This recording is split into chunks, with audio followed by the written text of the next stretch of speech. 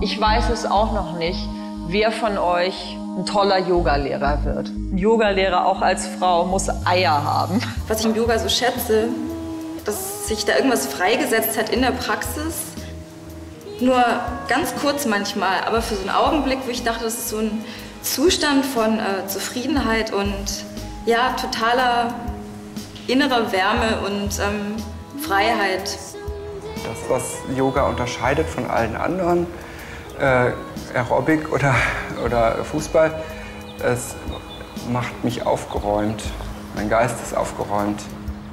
Hier ist ein Bewusstsein von sich als Individualität und auch der Wille, das eigene Leben in die Hand zu nehmen. Ich leide einfach total darunter, dass ich nicht Zeit für alles habe. Und deswegen ist mir alles zu viel. Und da habe ich gemerkt, dass ich mich selber so wahnsinnig unter Druck setze. Mit, sowieso mit allem im Leben. Jetzt natürlich auch wieder mit dem Yoga. Brillant. Eins, zwei. Axel.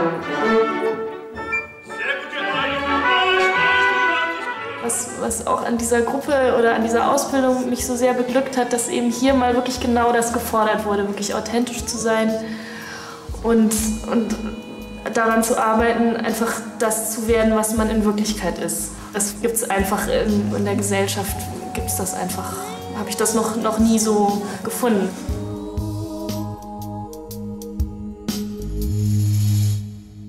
Oskar Röhler wird jetzt schon 50. Schätze, ich werde 45.